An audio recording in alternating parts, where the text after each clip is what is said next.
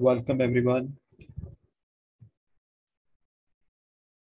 Uh, we have 13 people joined in in the session right now. So let us wait for a minute and we'll start with the session.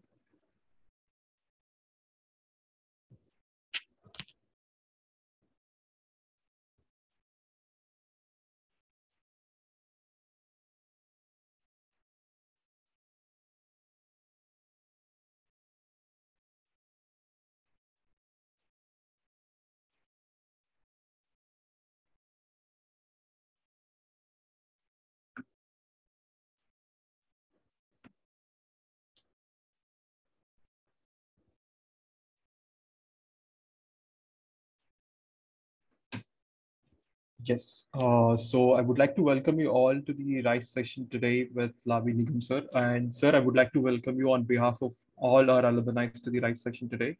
And for those uh, who are attending this session for the first time, and for those who doesn't know what Upgrad Rise is, so Upgrad Rise is basically an academic related domain learning where you can take up short-term courses and live sessions with industry experts like today's. And this is how the calendar for the month looks like. So we have an exciting uh, sessions coming up on Wednesday as well. And we do have a session uh, on career excellence workshop coming up tomorrow, Sunday. And I request you all to make the best use of these uh, RISE sessions and attend as many as you can.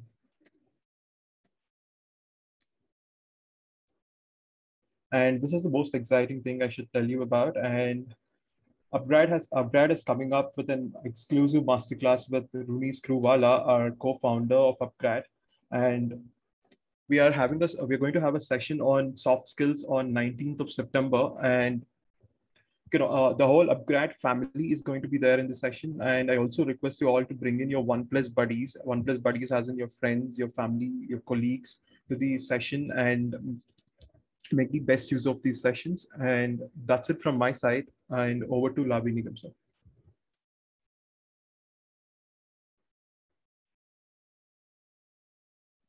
Thank you, Hemant. Uh, let me quickly share my screen.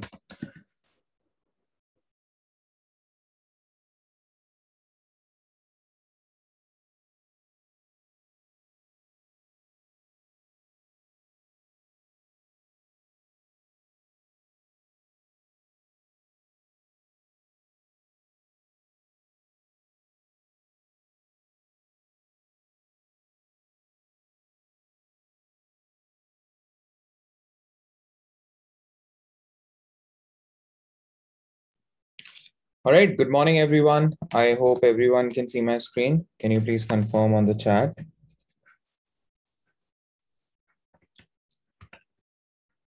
All right, great. Good to see a lot of familiar faces. Um, a lot of you who have joined a lot of my sessions before. Good to see you all. And I hope the voice is also clear, not lower anything bad all good okay perfect so how is everyone doing today after almost two weeks what i can guess is a lot of you might be switching jobs as i can hear uh, one of the very common things which are happening currently in industry is that people are leaving jobs uh, which is good thing. Uh, people are joining new jobs. Uh, so how many of you are joining new jobs? Anybody who is, Ankar is doing great. Nilanjan is doing good. Congrats. Satya is doing. All right. So congrats for everybody who is um, joining new jobs. I hope you guys are getting um, yeah, so Harni has also joined an internship. I recently got to know. Uh, good. Um, and I hope that you guys are getting opportunities that you always wanted to work with. In fact, I will encourage uh, others who have not switched as of now to sort of start looking out. It's a good time uh, for better or worse, um, although things don't look good around the world or in India as well. Uh, but at least the IT market is for some reason flourishing. Um, so please keep trying, uh, keep looking out for jobs. There's a lot of data science jobs which are um, which are coming up. Uh, so please make sure that you reach out to people on LinkedIn, uh, applying and things like that. Uh, a very valid question, which Abhijit is asking.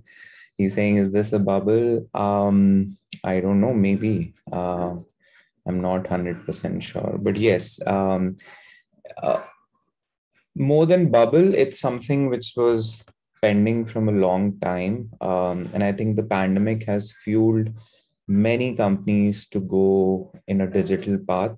Uh, and digital path will al- always be followed by um, you know people who are good with cloud people who are good with data uh, these are two very high um, requirements that are going to come in the industry i mean we are still not at the level where you will see more happening uh, probably in coming one year uh, that is why I started off this uh, with this topic, which is please make sure that you know I think in coming one year the cloud and data and AI, all these three things uh, are going to be at a very high demand. So make sure that you're ready for it. Um, I have always seen people sort of waiting for the right time. Um, that you know um, I would like to first uh, study everything and then I'm going to give interviews and so on and so forth. Please don't do that uh, keep giving interviews it's fine even if it is a big firm and you're like not prepared. Um, i mean yeah it's it's not like you should always do it um, but i would request you all to give interviews um, because that is a short short way of knowing where you stand and what is that you need to work on rather than waiting for the right time. So please make sure that you do that. Uh, it's a good time um, you know uh, for you to make a switch in cloud slash ai slash ml um, also something that i keep saying in all my sessions uh, if you have not learned about any of the clouds uh, so for example aws azure or gcp uh, please start doing that right? So all of you have already studied uh, ml and all of these things. Good. Uh, keep revising it keep learning it the second important thing, if you have already not done it, is to start learning about cloud because many companies, like many good companies, are only hiring people uh, irrespective of whether they know something about ML or not. Um, but if you know any of the cloud, they are just hiring people. Um, so please do that. Uh, this is something that I've been saying a lot uh, recently. So good. Um, again, I wish you all the best uh, for those of you joining new companies and for those who are preparing and for those who are planning to prepare, uh, give your best. I'm pretty sure something good will come out. Uh, with that, Azure has a good Azure and AWS has a good exposure in market to be very honest. In fact, AWS is the one which has like the larger scope then comes the azure and gcp has a very smaller footprint at this point uh, but it is definitely catching up. So um, that could be one of the priorities most of you can set which is um, you can if you have not already chosen or you if you have not already made a choice that whether you want to go with aws or azure uh, the first could be AWS, second would be Azure, and the third would be GCP. Okay, so now coming back to the topic. Um, oh, that's a very good question, Ankur. Uh, let me address that because I'm pretty sure a lot of you have uh, this question. So what Ankur is saying is that um, you know is it enough for us? So while i say that you should all learn cloud is it enough to sort of just go ahead and take some online tutorials and just uh, you know learn some basic things and not do any like bigger courses or bigger certification? Um, i would say 50 50 and I, i'm trying to be very practical here ankur. I'm not trying to sort of say that hey one cannot learn out of online stuff or free stuff is what we essentially are trying to um, understand here. Um, I would say 50 50 because, yes, you can definitely go on the internet and there are like thousands of tutorials of machine learning stuff on cloud. You can watch it, you can learn it. There's no, uh, there's nothing bad with it. The only challenge, which is something we all agree happens in Indian market, is that uh, most of the time uh, employers don't validate that so they will end up asking for uh, hey, did you do any certification in AWS? So, what I would say is that um, if you can, um, go ahead and do a certification um, on these clouds, whichever one you have uh, selected. That would really help. Uh, not to say that, you know, if you don't decide to do it, nothing will happen it's again like i said most of the time employers do um, do prefer doing that um, i am one of those examples which has not taken any certifications from any cloud um, not that i'm against it but i've not taken it um, so it's not that you know you don't have examples in industry where people have not taken certifications and they are not doing any job. So you can decide on your own. Um, i would like i said please go 50 50 first you know sort of don't invest initially uh, too much. Go through free stuff. Um, try to see how comfortable you uh, get in any of those things and then if it feels like you can go ahead and take certifications um, also for many companies i'm not sure um, you know how many of you have this access uh, but I'm pretty sure that some of you in your companies, you would have access to free uh, certifications. Like, for example, I know Azure, like Microsoft has a tie up with many companies uh, where they give you access to all their certifications for free. Uh, so please do explore that. Uh, same happens with AWS as well. Um, the best person to reach out to in this case in your companies is uh, somebody who is from a cloud team. So uh, typically a IT um, cloud person or anybody who's a who's a responsible person from a cloud department, go and reach out to them and ask them that, hey, do we have access to enterprise uh, learning um, resource where you do get free certification. So please uh, inquire that inside your company. I'm not sure um, uh, whether it is available in all. Like it, it's available in ours. I know it is available in Accenture. It is available in TCS. Uh, so if you're coming from those companies, uh, figure out who are these people who can give you those access, which essentially means that you don't have to spend money. That's that's all uh, I'm trying to say. So again, Atos has Avesh is saying. So please do that. Um, um, that will be helpful. For those of you who are asking for certification in cloud, uh, all three clouds have their specific machine learning certification. Um, I don't remember the name right away, but there are specific uh, cloud machine learning. So it's not cloud certification that you all should do. Uh, you are on. You should only look for cloud machine learning, and all three of them have. So if you just do a simple Google search, you should be able to um, get those things. All right. Okay. Perfect. Um, so we'll address uh, remaining question towards the end of the uh, thing. Uh, let me quickly sort of, for those of you who are attending my session for the first time, um, let me sort of give you a heads up of how do we do the session. So sessions are going to be very interactive. We're going to do a lot of discussions.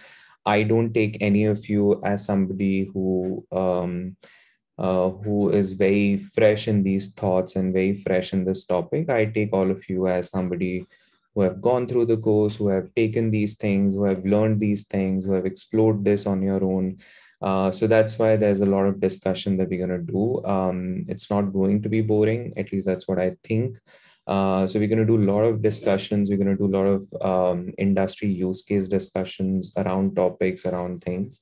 Uh, and then we'll jump right into hands-on, which is always my favorite. Um, so that's pretty much uh, how we sort of do the session uh, mostly. Uh, all the questions that I, I don't answer, I'm sorry for that because there, there are a lot of questions. What you can always do is uh, two things. One is you can pose the question on Q&A and I can take it towards the end. Um, even if I miss out on that, uh, you can always reach out to me on LinkedIn. So if you just search my name on LinkedIn, you should be able to see uh, you can always post your question there. Uh, there. I always uh, respond to people on LinkedIn. So if there's anything specific that you want to ask, anything which is not part of the topic or part of things which we are not discussing, you can always reach out to me on LinkedIn.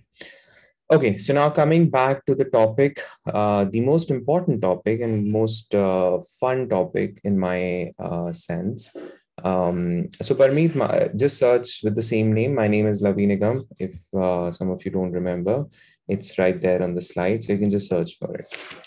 So the topic today that we're going to do um, uh, is ML model monitoring. Now, let's try to sort of understand why this is a very interesting topic.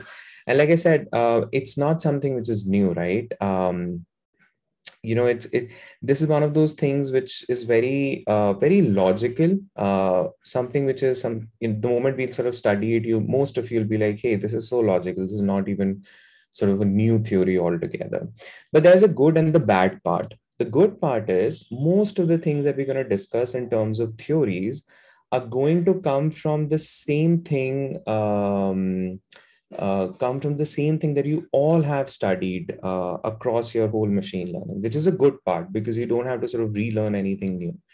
The bad part, and I'm, you know, this is this is a more subjective bad part. Uh, some of you will be happy, some of you will not be happy. Is that this is more to do with coding? So all the model monitoring stuff has to do a lot with designing systems and softwares. Uh, so there's there's nothing like scikit-learn kind of a thing where you can just do uh, scikit dot model monitoring and you get the monitoring. So there's nothing like that. So which is where you know the bad part is because in most of the cases, what you might have to end up doing is you have to design your own own infrastructure. You have to write your own codes. You have to write your own dashboards. So it's a lot of uh, those software engineering things, right? So Again, do remember there are two components which are very important for model monitoring. One is the practice.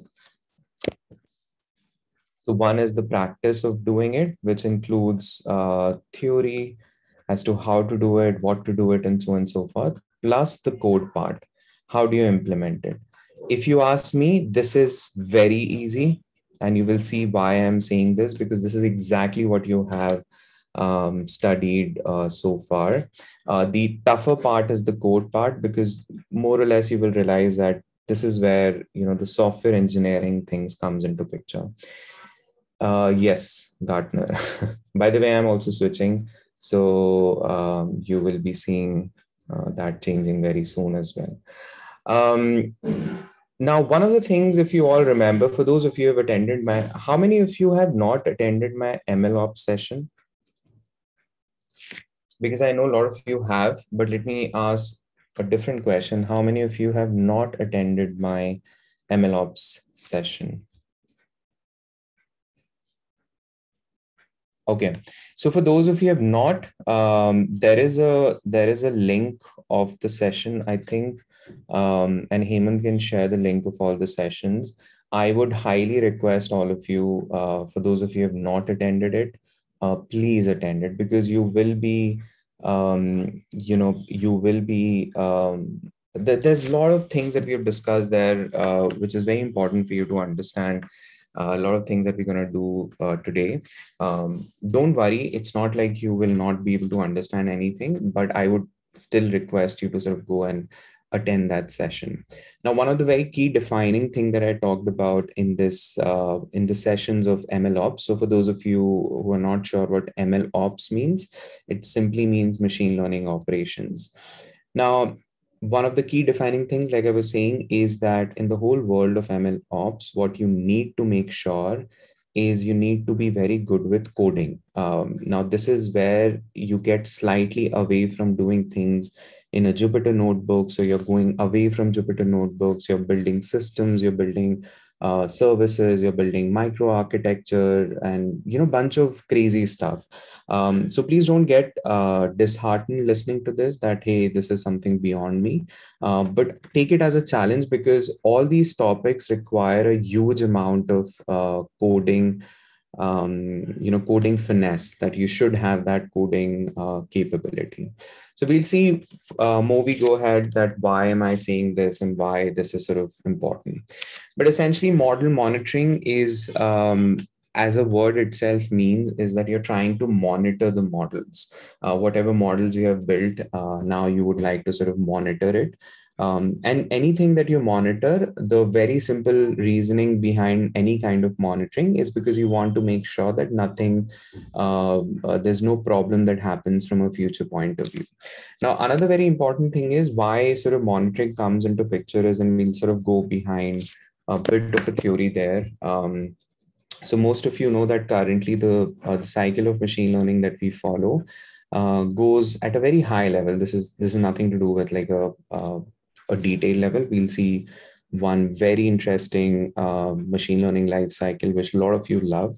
Um, so if you see at a very high level, we sort of understand the problem, do the collection, validation, pre-processing, exploration, and then we sort of do kind of a deployment, which most of you still understand as you know just creating an api and that's pretty much you know i think 80% of the industry sort of assumes um, and then there there happens to be lot many things which are beyond it and which is what we typically refer to as the component of ml ops or the operational machine learning. Operational means that now you have to take the work that you have done uh, on Jupyter Notebook and sort of put it in a software infrastructure. So the moment it goes in a software infrastructure, this is when it will be uh, sort of consumable by people who are uh, going to sort of use it. So typically this becomes your business for whom you're solving a problem. Um, and this is why it is important also. Now, one thing which is very uh, important to understand at this point is that is it important for a data scientist to also be a ML ops guy? Now, there is uh, ML ops as a whole is still a new field, uh, which means that as of now, there is no distinction. Um, data scientists are the people who are doing a bit of ML ops but sooner or later and this is something which has already uh, started to happen um, in many companies not at a wide level but it has sort of started happening which is you do uh, you do see two jobs which are sort of coming up. And tell me if you guys are seeing this. One is ml engineer and the other is again ml ops engineer. How many of you have started seeing these kinds of jobs on linkedin or any job portal anyone who has noticed this? So again this is different from your data scientist uh, your analytics positions and all those things right? Um, so the reason this is happening is because of the same reason that we are discussing here right? So data scientists are experts of this part of the cycle. So this is the part where all of you have uh, taken your training. Uh, this is where all of you have understood each and every end to end uh, but the story doesn't end there. Uh, there's there's lot many things which are associated with this, and which is where the other part, which is we can call it as part two or whatever you want to sort of call it. Uh, but this is where ML engineer, ML ops engineer, or AI engineer. Uh, there's a lot of different ways um, that people sort of uh, call this as. But these are those people who sort of take in a very simple language, if I have to put it, they take your data science work and put it into a uh, software infrastructure. You know your typical software development uh, stuff. Now it's completely on you like i said uh, you might want to still stick to data science work or you might want to sort of go ahead and do the um, machine learning. Just give me one moment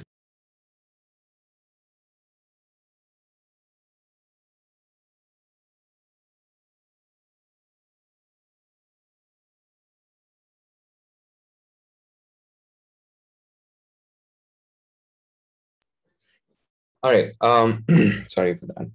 So, like I said, it's completely on you whether you want to sort of uh, stick to data scientist roles um, and not sort of worry about too much software engineering stuff, uh, because the this topic as well as the topic of MLOps that you uh, will study later on whenever you have time, uh, does require a good amount of software engineering to be uh, learned, right? Because it, it involves a lot of coding and stuff like that.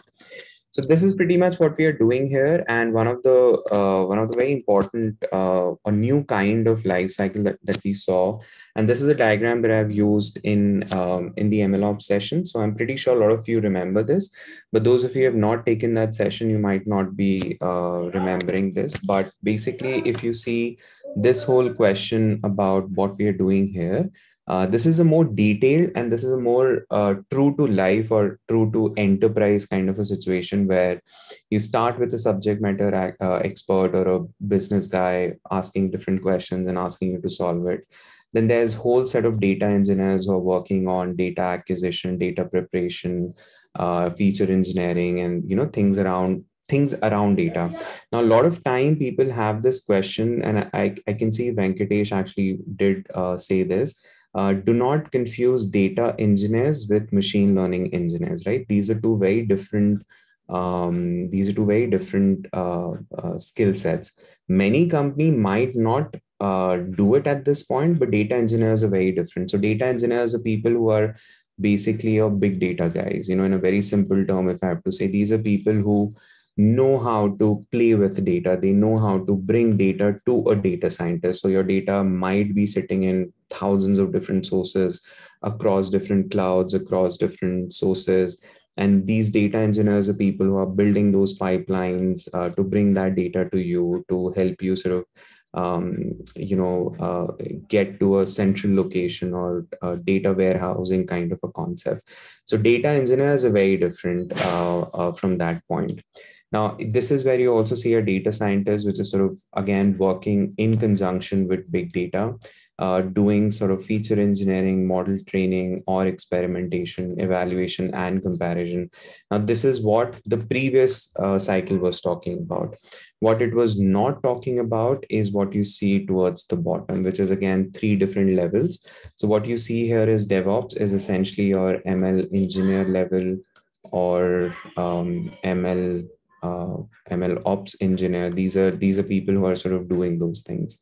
Um, but these are those engineers and architects who are sort of going a bit beyond. Uh, let me sort of quickly touch upon those basic points that we have again talked about in MLOps uh, sessions. Um, but beyond the basic cycle that we have here, you do have a uh, the production preparation, which is figuring out the environment. So, for example, you know which which cloud should we run uh, the final model into? Should it be on premise should it be on cloud? Should it be hybrid? Uh, what will be the risk evaluation of those things uh, evaluation of those things? So for example if um, you know let, let me take a very basic example to sort of give you a idea around it. Let's say you're a bank um, and uh, as a bank, you have, and your data scientist team has built a model that sort of does a prediction of a fraud. Now, when you sort of build that model, uh, a use case of production in that sense is essentially that how do you, where do you put this model? So, ideally, if you think about it like very logically, you would say that hey this model has to be online uh, connected with a pos terminal or or any kind of credit debit system because every time somebody uses their card or any kind of transactions it has to be at that place. So if somebody is making a transaction my fraud model has to be there. So this is what it means by a runtime environment. So you have to figure that out. You have to connect those dots which is all right, this is what currently business is doing, which is doing a transaction. And that transaction has to be connected with the fraud model. And this is what it means by uh, preparation of production. Then you have the second one, which is the development to production. Development to production means that you finally, once you make the choice that, all right, uh, this model has to be online, then you go into the level where you talk about containerization, elastic scaling, CI CD.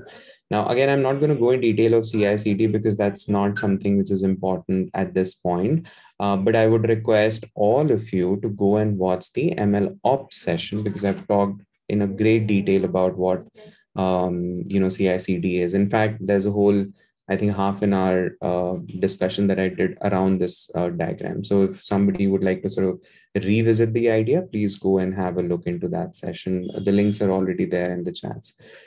Then comes the last part, which is what we are trying to understand in these two sessions. So this is the part which we are sort of going to focus on, which is uh, the monitoring and the feedback loop.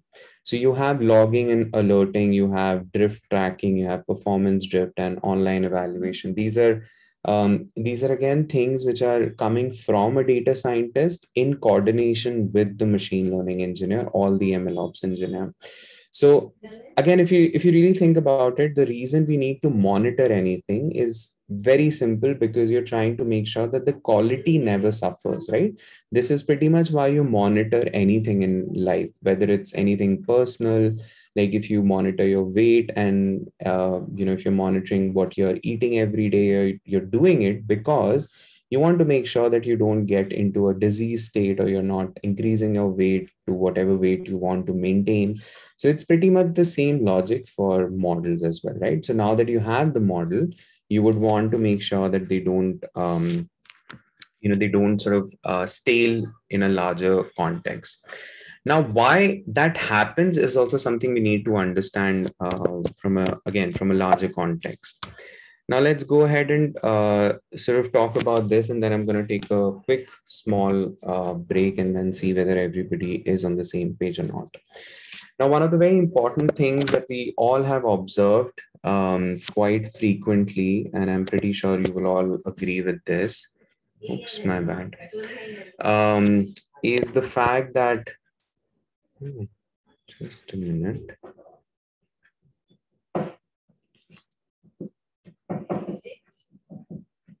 Um, okay.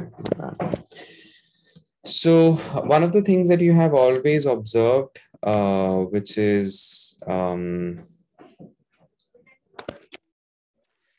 is as the time deployment of any model. So when you uh, initially when you sort of do the modeling, uh, what happens is you have a model which is very fresh out of your analysis, um, and it has like a maximum business value. But as the time deployment sort of increases so as you go ahead you know there's a time delta that keeps on happening. What you notice is that it sort of starts degrading in its performance. So um, again it's it's quite subjective because you, sometimes you don't know what it means when we say things like uh, there's a degradation of the model. Uh, but we'll sort of try to reason these things as we go ahead. But the simple point is that if you do not do anything, if you just take the model and deploy it and keep it running for, let's say, six months, there is a good chance that the performance that you're going to get will sort of slightly come down. Uh, how much it comes down depends on the data and depends on the business that you're working, uh, but it definitely comes down. It's like it's a standard thing. And this is what we are trying to see that what can we do what kind of monitorings can we do at each stage of degradation such that that degradation never happens and you always maintain a specific uh, expected uh, output that should always happen so rather than going down like this you would want to make sure that you stay at a specific uh, performance that has been established um, and that's pretty much what the idea of monitoring as such is, right? So now that we have established what model monitoring is why do you need it uh, let me take a quick pause and then we'll go in details of theory um, any questions anything so full stack data scientist is essentially the same guy who is a combination of data scientist plus um, uh, MLOps engineering. So combination of somebody who knows both software engineering as well as data science. As simple as that, Rohit. Any question? I hope things are making sense. Nothing complicated so far.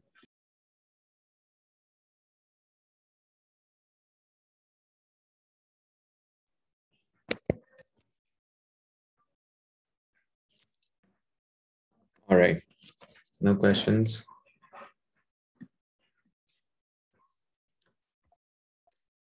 Okay, so what we're going to do is we're going to talk about certain questions which are very important. Um, and these are questions which I'm pretty sure um, a lot of you uh, might have had uh, while doing uh, production or while doing any kind of modeling for that matter.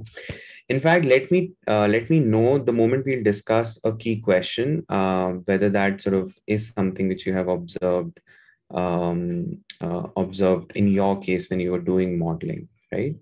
Uh, one of the question which uh, Sai Manohar is asking is how long before the degradation becomes significant? Um, that's where I said that this is very subjective. This is where you, from your business and your data, would have to sort of um, think about it and see which what degradation makes uh, more sense to you. So maybe two percent is not a big thing for you, but it might be a very big thing for, let's say, um, uh, for a bank. Uh, so it completely depends. So when there are a lot of subjectivity, we need to again fall down to basic practices, basic theory. So that, that is why I said that model monitoring is a combination of theories and practices, a good kind of questions along with the code. And that's what we are trying to establish in these two sessions, which is I'm going to give you a lot of questions that you can keep in your mind a lot of practices and theories that you can keep in your mind which will help you then design those infrastructures later with either with the help of software engineering team or if you're good at doing it on your own you can do it on your own right? All right so let's start with certain key questions which are very important. Um, the first one starting with the first one is what are uh, or why are there sudden changes in the values of my feature? Now this is a very common thing which happens which is let's start with the basic premise when we do machine learning, do we do machine learning on historical data or do we do machine learning on present data?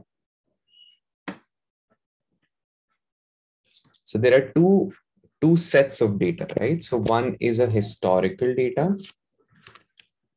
Change the color.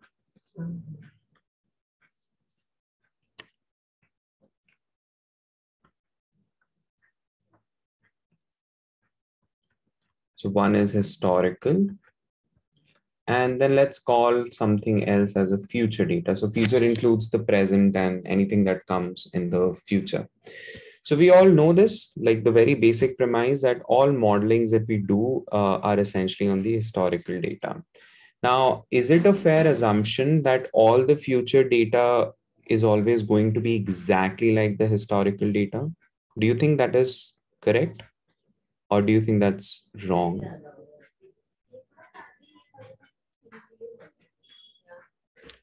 Right. So most of you, I'm pretty sure all of you will say no to this. So historical and future, like if you, it might so happen that you're very lucky. Let's let's not call it as hundred percent. Um, let's just say that there there is a slight likelihood that it might happen but in majority of the cases do we all agree that historical data never equals to a future data? Like again we are saying we're talking probabilistically here. So let's say 90 99 or 98 percent this is going to be true right? Which is the historical data will never be equal to a future data. Now if this is the case which is going to happen how are you going to hold the same performance of the model because your models are built on historical. They don't understand the slight changes which are happening day on day basis or month on month. So this is where the first key question comes in that the sudden changes in the values of your features how how are you addressing that? I hope everybody understands the premise of this. So the very first question that we need to understand is why are there certain feature changes which are happening? And the moment you understand this question what you have to remember is that this is what we refer to as data distribution changes. So this is what you then tend to monitor. You see the questions what we are asking and the question that we're going to discuss will lead to kind of a metric or a practice that you have to monitor. Is this point making sense to all of you Okay. Uh, Tavish, let's come back to the question. I think what you're saying is that it's not always true that the historical is not equal to future. Is that correct? What you're saying?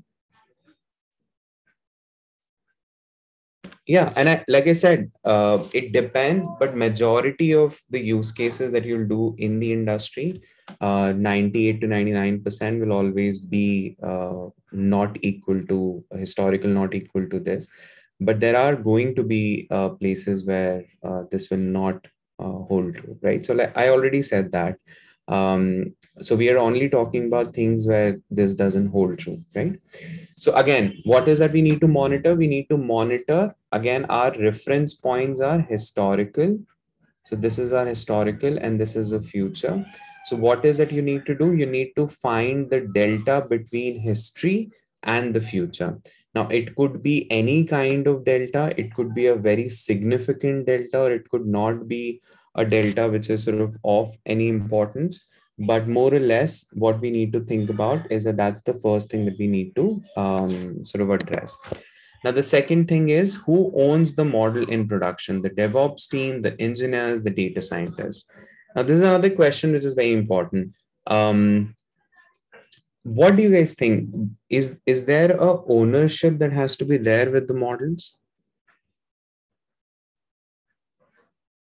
So Ankur has a good point. Um, let's come back to this point right after we address this point. So my question to all of you is: Do you why do you think ownership of the model is important,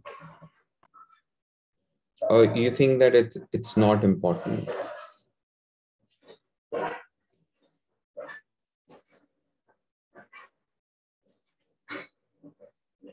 So some of you are saying yes. Um, ownership of any module is always necessary. Correct. So the thing is, um, somebody has to own the model, right? Because unless there is a accountability associated with this, you won't be able to sort of address the issues that are going to crop up later. Because what is going to happen, and this is something which is so uh, so basic, is that unless and until we have an accountable person or a team what will then happen is that later if something goes wrong uh, all the included stakeholders will start fighting right? So the devops team will say hey you model guys are not doing things properly or your engineer guys are not doing things properly. So this is another thing which is you know sort of very important for you to understand that whenever you do model productions one of the very key things that you need to understand is that you need to give ownership to the models ownership of the model to a certain specific team. So it could be a data scientist, it could be a DevOps. In majority cases, it is going to be part of data scientist team. Um, and the most and in most cases, it also happens that there's a joint ownership between data scientist and DevOps team because DevOps team is making sure that the model is going to be part of uh, the production. But the major ownership, and when we say ownership, it's not like um, they just own it. The reason we are saying that the data scientists need to own it is because if something goes wrong from a technical or a mathematical or, or a learning point of view, uh, it has to make sense uh, uh, or it has to make sense for a data scientist or data scientists need to make sure that all of these issues are resolved before going to production now coming back to a very interesting uh, question that anurag uh, said which is um, hey, while this makes sense that historical and future will, most of the cases will not be sort of similar, but one of the very key defining features that we have learned over the years is that machine learning models are built to generalize on unseen data. Anybody who can sort of answer that? That if that is true, then why are we saying that there's an issue when there's a difference in the future?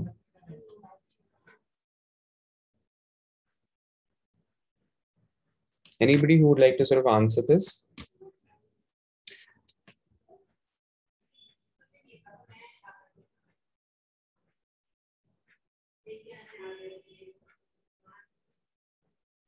All right, a lot of people have, okay. So data, data is corrupted. Okay, so again, let's try to understand this in a very simple way see what Andra, uh, what we were trying to understand what that point basically meant was very simple. See do you do you all agree that when we say that the historical data is what we essentially use to do a model prediction that historical data gets divided into train and test?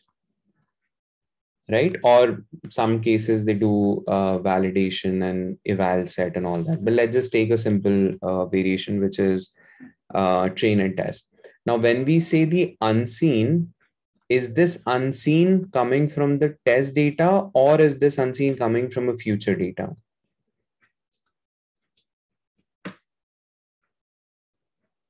So the unseen word that we use, which is to, un- it should be able to generalize into the unseen, that unseen is coming from a test data and when you and and think like very literally so when you have to prove a generalization see when we use a word like it has to generalize well on unseen it by default means that you're talking about test data because in test data you know the y prediction. You guys agree with this? So you you only know when something is going to generalize only when you have a y value where you can sort of measure the difference. Do you guys agree with this?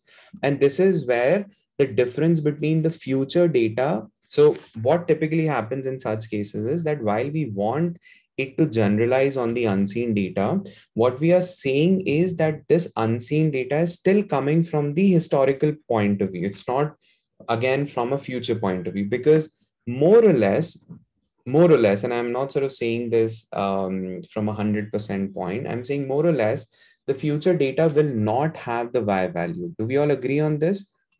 The future data will not have the y value. Correct? That's where it becomes very hard. Correct. So the whole point of this production machine learning and why we do monitoring and why it is sort of so hard and why it is so subjective is do we all agree on this fact that the reason it gets tricky and the reason it gets tough is because the future data you don't have the y value. You do have the x which is your features and the, the columns that you're using.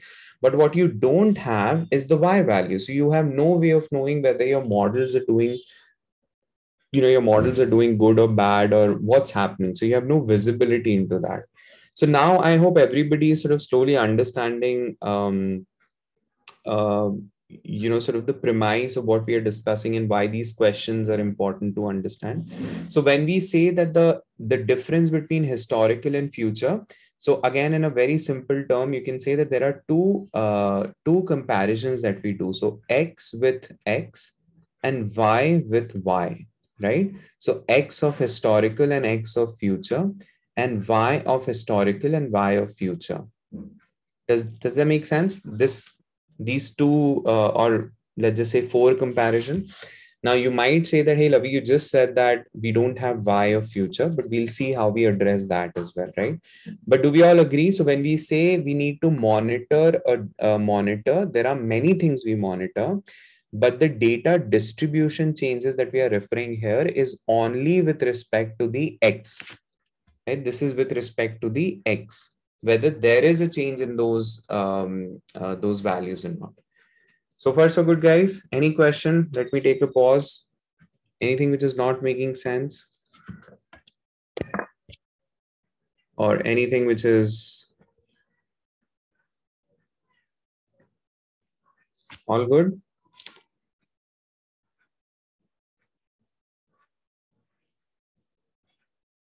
Okay, perfect. Now let's uh, let's go ahead um, and see a bit more questions which are sort of uh, going to be um, uh, going to be very important. And again, always see the key questions are always followed by a standard keywords or what we are going to refer to as standard keyword inside the world of monitoring, right? So like I said, the first is distribution change. The second is ownership and production. Now the third question is, the key question is, why is the model giving poor results in production despite our rigorous testing and validation attempts during development? Now see again there is a difference. This is this is a very basic premise where you built a model on your jupyter notebook dividing your historical data into train test and all of those things and you got good results. You did like very extensive testing. You did cross validation you did you did every damn possible thing that is um, that is there in the uh, machine learning um, kitty. Now, once you do that, and then you did the production, and then suddenly somebody, the business starts telling you, hey, guys, uh, we are not getting good results. Um, there's something going wrong. This is what we mean as a standard word called as training serving skew. Because what is happening is your production is still not doing good. Why? Because your historical and the future data somehow doesn't fit very well. Correct? I hope this point is clear. Yes, so slides will be uh, given. Oh, I didn't give you for the previous, is it? Okay, I will.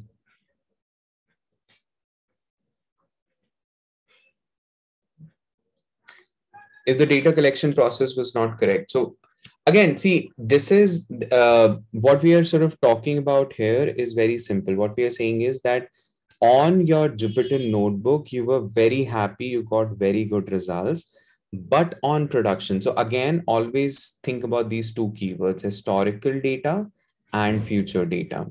Historical data has both the component of x and y future data only has x so what we are seeing in training serving skew is that the moment you go on production and your business is finally making your product live. Let's take an example. Okay. how do we know because now somebody will say uh, like sujit is asking hey how do you know that uh, uh, the model in production is performing good or not so let's take an example uh, the, the same example of uh, fraud predictions so let's say you took uh, bank's data for last five years um, of the fraud and non-fraud. So last five years historical data, you know what is fraud and what is not fraud. You did the best of machine learning. You did auto ML. You did uh, crazy models. You did feature engineering. So you did everything, and you reach to a point where you're getting very comfortable uh, F1 ratios, or you're getting very comfortable recalls and all of those things. Correct. Now, once you do that, you basically say to your business that, hey, we are getting very good results and we are quite confident that this is what is going to happen. And then you sort of put this model in production. Now, what happens is uh, typically on an average, let's assume this is again from a business point of view. On an average, the uh, business receive when the model was not on production, business was receiving, let's say, five calls a day for frauds. That's what's happening currently the moment they put your model in production, suddenly the five calls got increased to, let's say, 15 calls per day. So, what is happening? Can somebody tell me what might be happening now? So, there is no why which is coming as such. But there was one thing that the business was tracking, which is the number of calls that they receive every day. So, what might be going wrong? Anybody who can guess? So Dinesh, we'll address that towards the end. Can you put it in a Q&A? So let me let me again put the question back. So what I'm saying is, let's say uh, the bank uh, uh, added the model in the production, um, and this model is basically uh, trying to, um, you know, this model is trying to get the uh, fraud prediction. And before the model was in the in the uh, prediction, sorry, in the production, what is happening is that we were only getting five calls per day. Uh, the five calls per day got increased to 15 calls per day. So my question was, what could be causing this? Any guesses? So model is not performing. Okay, good. Model is not predicting well, or there might be more false positives uh, model is unable to distinguish fraud calls, data variant. So, okay, do you all agree that there is something which is wrong, correct?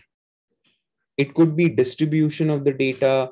It could be um, it could be that your model is sort of slightly not behaving the way it was supposed to be. And the one of the reason, the bigger reason would be that your data might have suddenly started shifting to what it was supposed to be, correct? So do we all agree that the moment you see a increase in whatever metric that you're measuring, because we, we agree that there is no Y, correct? So the Y is not there, which means that when you have to do this, you have to make sure that 15 calls per day means that there's some, so there's a big change in the data, the underlying data of it, right? The input change that was used for model change in new fraud patterns. Correct. So uh, one of the point which is also very val- uh, valid which I, uh, which i think somebody said which is evolving fraudsters right? So evolving frauds uh, fraudsters essentially means that um, it's so true. It happens by the way. It's it's so true because sometimes what happens is the fraudsters are also seeing what kind of activity they do that gets flagged by the uh, by the bank so they stop doing it and then they they start doing something else. They figure out some new thing uh, which takes uh, business or which takes the bank a bit more time to uh, adapt to those things. You see and these are all the problems. On the other hand if this was reduced to let's say 3 calls per day or let's say 2 calls per day then we would have said that hey you know what? This is good because nothing is uh, behaving bad or good. So do you all now understand a very basic premise that in problems which are supervised learning we, we are not even talking about unsupervised learning we are being very specific to supervised learning. The basic premise of the problem is that once something goes in production there's a very different behavior that might come out of it. Why because you're going to sort of do a prediction on the x you don't know what the y is so you have no idea what the y is which means you have to track something else something else could be in the case that we took an example, it could be calls that the bank receives every day for the fraud. That's a very good uh, metric to do that.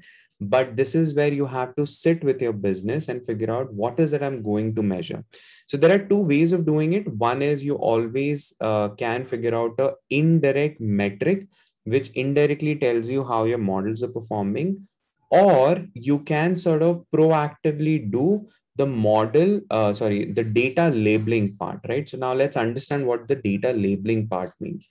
Is everything clear so far? Any questions before we move to the next idea? So is everybody clear that when you are in a supervised learning environment, you have to figure out a business metric, which is indirect business metric, which gives you a sense of how your model might be performing correct? I hope this is making sense.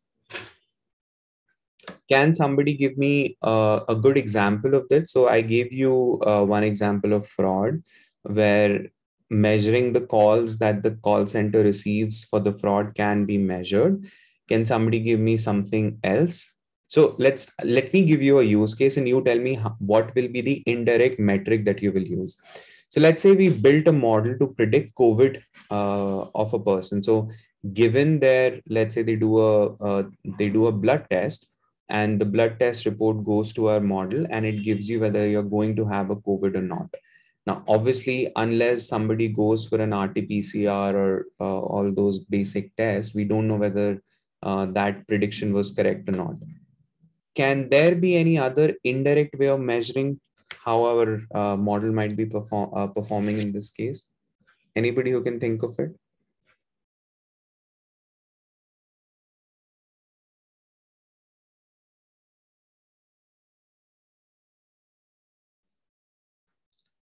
any indirect way of medical so medical history we're on uh, anyway taking to do the prediction of covid but now we are just getting the medical history and we we have no way unless the patient itself tells you that hey i've gone through rt-pcr uh, and it seems like i i do have a covid. Okay so let, let me repeat the question. So let's say we all built a model to do a prediction of covid. How did we build the model? What data did we use we use the blood reports or medical history of a patient and then from that we said um, that uh, okay this person will get covid. Now this person has so far not gone to rt-pcr test because for some reason the person might not be uh, feeling anything uh, or no symptom is there. So the person doesn't know whether they have covid but you predicted in such cases when your models are predicting on a future data or on a data which is sort of um, um, uh, a new data how are you going to then track the results of it? So some um, track patients surrounding covid results uh, if in the area we have active cases and symptoms are same as covid okay? If false negatives are more uh, the spread will increase. If a person is smoking or have breathing problems, uh, connected problems, okay. Demographic of the patient. How many of them have COVID symptoms? Um, okay, good. So, so the thing is, what we're going to do is we are trying to figure out the indirect way of addressing whether our model are doing a good thing or not. So in this case, also you can sort of do a lot of things. So for example, a lot of you are saying that, hey, um, maybe we should see that the person for whom we are sort of doing a prediction, let's check the location of that person. And in that location, see how many cases are we getting. If you suddenly start seeing more cases, it might be a proof that your models are performing well because your models are also saying the same thing that, hey, in this uh, area, a lot of people are going to be COVID positive, right? Again, coming back to the core point, do we all understand what we are talking here? The main point is that historical data and the future data has a very different distinction. Historical has X and Y, future has only X, there is no Y. So you have to do some indirect way of measuring it. I hope this is a key point that everybody understands. So let's take another uh, another use case, which is Surendra has suggested, which is telecom churn. So again, assume that you took five years of data and you figured out a model which can predict if a consumer is going to churn or not. How would you then measure in the live scenario or in the future data whether your models are doing good or bad? What is that indirect metric or indirect uh, thing that you will measure which will tell you whether your models are performing the way you expected them to be. If the per day call reduces, good, good. Reduction in recharge, that is also good. So one of the very key defining ways is very similar to what we saw with the uh, fraud cases. So if you measure the number of calls that you receive every day and suddenly the call sort of goes down it means that you are actively taking care of those people now see it's slightly more business because what you're saying is that the reason the calls will come down is because you might have already predicted that for example uh, uh, Jessel and Aruna might be leaving. So you're already proactively taking care of those uh, people. So now they are not even calling you. And hence you can say, okay, my models are performing the way it is, right? So again, key point, very important that the metric that we talk about while we train a model, your F1, recall, precision, they may or may not work in the live case scenario. Correct? Do we all agree on this point? Anybody who disagrees with this? Or have or anybody who has a counterpoint to this? So the metrics of model evaluations while you while you do the training is different metrics which you have to figure out on the live data has to be slightly different. Correct? So far, so good? Okay. Now, sometimes do you all also agree that hey Lavi, okay, fine, as a theory it makes sense, as a logic it makes sense. Um, but it's it's also very subjective and it's also very tough for you to sort of always figure out an indirect way, correct? Do we all agree on this also? I mean as a theory and a logic it makes sense. But then you'll be like hey you know what? Maybe some use cases we might figure out but things are not that mature.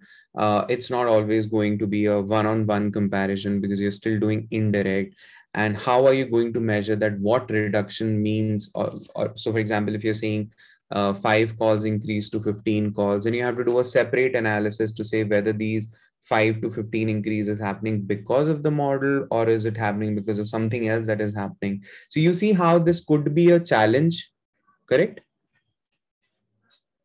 There could be a lot of things that you might have to end up uh, doing.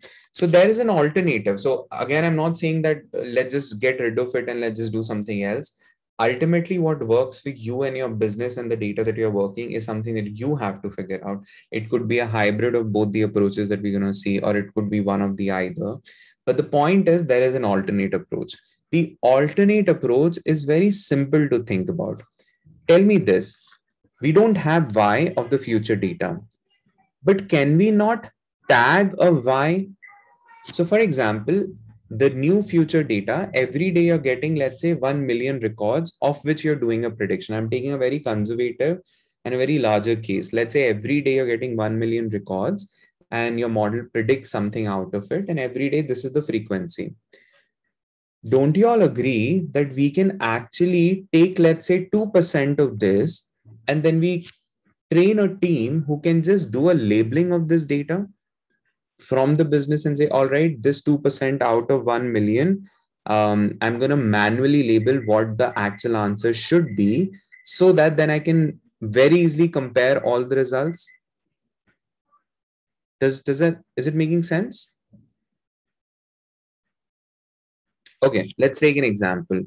So, oh, sorry, my bad. Let me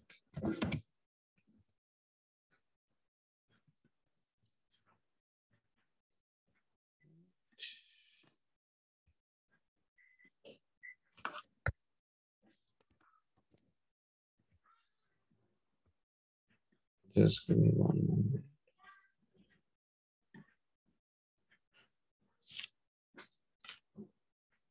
Okay, so what we are basically saying is, um, if let's say every day you're getting you know 1 million records right? So you got 1 million records. Now what we are saying is take 1 or 2% and again this is very subjective. I'm just saying that maybe every day you take 100 or 1000 records some somewhere in that uh, range. Have a team you know you can sort of create a team of uh, data entry people whom you can give a business sense or business uh, training and tell them that hey can you please go through each of these 100 or 1000 records and manually label. Label as in whatever the uh, labels that you were predict- predicting which means that they are giving you a business driven buy of these data. Now of this data then you can simply compare it with your historical data. This is what i meant by another approach that could be possible in this case. Does does that make sense? Oops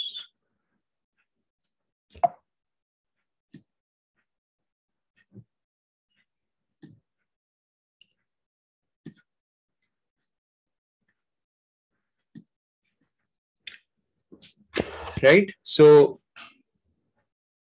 all you're telling is data annotation should be done on the live data once deployed. Correct. Absolutely. That's it. As simple as that. Um, it will add overhead of continuous labeling support uh, during production. Is there any other way? We'll talk about the issues with this logic, right? So as of now, let's just discuss the logic. We'll talk about the issues and challenges. Um, but do we all agree with the approach? The approach simply means that the new data or the future data that we are getting, we take some handful of it. Uh, that is again your choice. You can take very small, you can take very large, depending upon the bandwidth of the team. Also, do note this is this is not something as a data scientist you will start doing, right? So in most cases, what happens is business basically sets up a team this team could comprise of um, you know data entry people or some somebody like that and they will then train them to sort of figure out okay this is what if if you get a data like this it means this or if you do get a data like this this is what it means right? So that is your second approach. Second approach uh, essentially does the data labeling correct? Is the approach clear to all of you? I hope nobody has any issues with the approach. We'll talk about the issues with the approach right? So some of you are saying hey this is very expensive. Some of you are saying um, it's a huge overhead and things like that right? Um, but how do we assure that the labels are right? This is where your business comes into picture purna so um, you are not that, that's why i said that it is not a data scientist job to label it. It is your business. So for example your operational people in a bank who know every day in day out what a fraud is do you agree that they are the best people to make it uh, to tell you what is a fraud and what is not a fraud? Correct? So it's the same thing. Now does that mean that it uh, it is going to be 100% accurate like whatever the business guys are saying it is going to be 100% accurate? Absolutely not. You're just taking a fair assumption. You're saying that okay maybe if i'm labeling 100 data points every day there is a good chance that i'm going to have a 2% error or a 3% error. Correct? I hope this makes sense. So i'm not saying that if you do manual label it is going to be 100% accurate. You are assuming already that there's going to be 1% or 2% error, or in some cases, maybe a bit more. But you are doing it only because you're trying to make sure that I do have a way to address the monitoring part. The monitoring part being that how do I quantitatively say that something that I've done is good or bad? Correct? In fact, for those of you who have uh, who have tried losing weight do you all agree that you exactly do the same thing which is you quantify everything? And it's very hard because sometimes you're like for most people this is why losing weight is hard because it's very subjective to quantify how many calories to eat what carbs you need to eat what proteins you need to eat. And this is why we go to a nutritionist right? So in that case also if you think about it for a moment it is not 100% accurate. It's not that if your nutritionist says that hey you need to take 25 grams of this and you basically go and take something and it is exactly 25 grams right? We all know this. But more or less if you follow that in a very rough approximation where it where a nutritionist says that hey you are supposed to take 200 uh, 2000 calories a day in which this is what uh, this is how much protein should be there this is how much carb should be there. You roughly sort of follow that and a lot of people do get benefits out of it right? So we can't say hey no but you were 3 uh, grams above the uh, allotted this and that. But ultimately you know um, you get to achieve whatever you're trying to do because the the science works the overall science works right the cheat days would be KPI. Correct. So just like that, we are doing a very similar thing uh, when it comes to models. So we are saying that hey, we don't know exactly how to measure it, but we'll come up with more approximate ways of doing it. So what people, this is why I said initially that um, you know people tend to do more uh, more hybrid way where what they do is they come up with a business metric so they are also measuring that they also what uh, they also start doing manual annotations by setting up a team and then you know sort of uh, measuring and then uh, seeing the difference between the results. And they do these things in combination to make sure that whatever whatever is being pushed to production is performing the way they expected it right? Now like i said and like most of you pointed out that hey uh, manual labeling is expensive. Yes it is. But things are now in you know nowadays um, there are a lot of companies which have come up with sort of uh, does this on your behalf. So there are companies in india uh, whose job is just to make sure that you tell them that hey this is what we want you to tag for us uh, and this is the rule. And then they have the bandwidth of people so they help you do uh, those things right? So i don't know how many of you know this. Do you guys know this that there are a lot of companies in India which actually are built over data uh, annotation. Okay, good. So, not just in India, by the way, China is becoming a great country to do that, just like with everything. China, and uh, there's a word which is associated with this, which is called as data tagging factories. If those of you are like very interested, search Google uh, by this, which is data factory or uh, data tagging factories. And what is happening in this is basically you reach out to these factories um, and you basically tell them that, hey, uh, th- these are a bunch of thousands and millions of records, and this is what we want you to tag. This is a business rule. Um, can you please uh, help us do that? AWS also has Mechanical Turk, correct? Absolutely. Um, Azure also has something very similar. So while all of us might, some of us might think that, hey, this is very out of the box and this is something which will require a huge uh, money, but trust me, it is becoming very cheap and it, it is also becoming very important for people to, uh, um, uh, very important for people to, uh, sorry, very important for enterprises to do that. Do you want to know a very good example of this?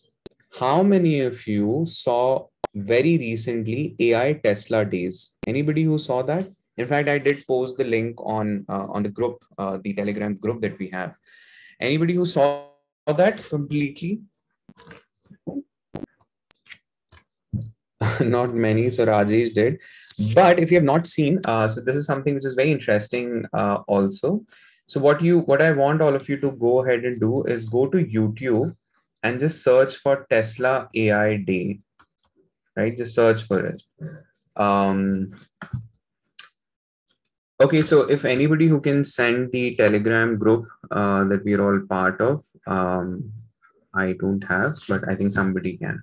So anyway, uh, Tesla, as you all know, uh, runs a car, which is a Tesla car. And one of the most interesting feature of that car is something which we say autopilot, right? I, I hope this everybody knows, right? Tesla has a feature which is what we refer to as autopilot, which can drive itself. Now, do you know how Tesla creates a training data? So, if you think about this problem, there are two bigger issues. One, that they need to have a huge training data, which is to say that all the driving data that they need to have. And the second is when the cars are in production, or let's just say cars when they are um, uh, cars when they are on road they need to sort of uh, check whether whatever their models are doing is correct or not so if you really want to see the live way of how they are handling it, please go and watch Tesla AI Day. Uh, you will get to see how these people are doing exactly the same thing, which is they have a data tagging, uh, uh, they have a data labeling concept, and they, there's a huge team that sort of helps them do it. Uh, but a lot of companies are doing it. So they are sort of coming up with their own way of labeling things. They're also coming up with their own uh, teams which are also doing it in a more intelligent fashion rather than completely manually so it's also not completely uh, manual just to sort of give you a context there's a lot of automation and there's a lot of models that happens in the same um, uh, in the same sense right um, let me see if somebody shares the link of telegram or else i'll do that towards the end okay all right so we are done with three now now let's go ahead and talk about the last, uh, sorry, not the last, uh, the other questions, which is very important. Let me.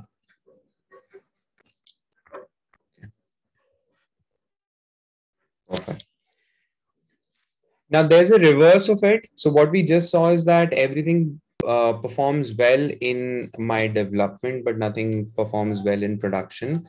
There's a reverse of it, which is what we refer to as model or a concept drift, which is was my model performing well in production? Suddenly the performance dipped over time. This is what we were talking about. Uh, you know, this is what we were talking about um, the dip that is going to happen. So a standard name for that that we use is model or a concept drift. Drift we all understand what drift means. Anything that goes uh, slightly away from the expected is what we refer to as drift. And model or a concept drift essentially means that how over the time certain things sort of drifts away. So this is what we what we mean by model and concept drift. The next key question is how can i interpret and explain my model prediction in line with the business objective and to relevant stakeholders? Now do you guys remember that we already have a session with this so my last session, I'm not sure if uh, how many of you attended. I know a lot of you did. Um, people who did attend the last session. Um, again, for those of you who didn't, please attend. Uh, please see the recording of models, which essentially talks about this key concept, which is when you do complicated models, how do you explain it? In fact, in that session, I did show you um, I actually showed you how you can sort of query each and every um, uh, records uh, using SHAP, and we saw uh, uh we saw actually a very good open source uh, project called Shapley, um, which sort of can explain a lot of results, which which can explain what is causing it to come this, what is causing it to come to the other way, right? So again, uh, there is a Excel which is maintained, and I think uh, Hemant has shared it initially, you can actually go to that and in that there's a session called interpretable models. Please have a look into it. That essentially talks about it. Uh, so aruna has shared. Thank you aruna. The second key concept is how can i ensure the security of my model? Is my model being attacked now this is what we refer to as adversarial attacks. Adversarial attacks essentially means again let's take a very simple answer uh, scenario to understand this. If you remember very uh, few moments back we were discussing about that when you have a model which is doing fraud prediction the people on the other uh, other side which are basically people who are doing frauds they are also smart because they are also now seeing that hey if i do the same thing i'm being flagged. So let me do a, a different thing. This is what we mean by adversarial attacks on models. So what happens is if you have trained a model to identify cat versus dog and somebody figures that out that this is what is happening with your uh, model and then they can actually do something with the uh, image which can fool your models right now let me ask a basic question when you build a model do you all agree that you can actually fool your model do you guys think you can fool your models and when I say fool, I'm basically saying that if I were to pass a data which is very um, very confusing, and I know for the fact that this will always be given a specific class, which it is not. And this is what it means by adversarial attacks. now this is again a evolving uh, field. Uh, not lot many things have been talked about it. But do you guys at least agree that this is one of the most important aspect again? That if you do not do a thorough testing of your models if you don't secure your model to make sure of uh, uh, you know what could be the adversaries or what could be the adversaries uh, in case of the new data then it will be very challenging situations right? And this is which uh, this is what it comes under ai ethics. So again sessions in, in the ml sessions we have talked this essentially means all of these things that if you're doing certain things like this as predicted what we do to address the that might happen later on. Because unless matters with the model in data science area do you do you struggle with the trust issues with the business? Even though you're building good models, even though you're building great models, I would say, do you still feel the trust issues in your company?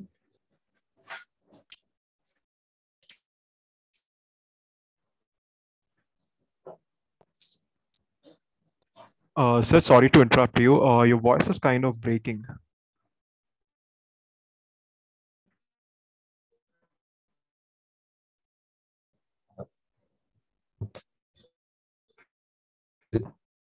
Is it better no, now? No, no, no. It's still breaking you. We can't hear you at all.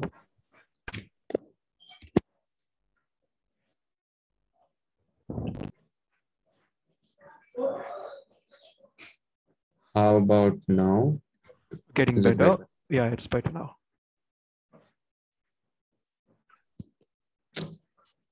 Uh, give me one moment.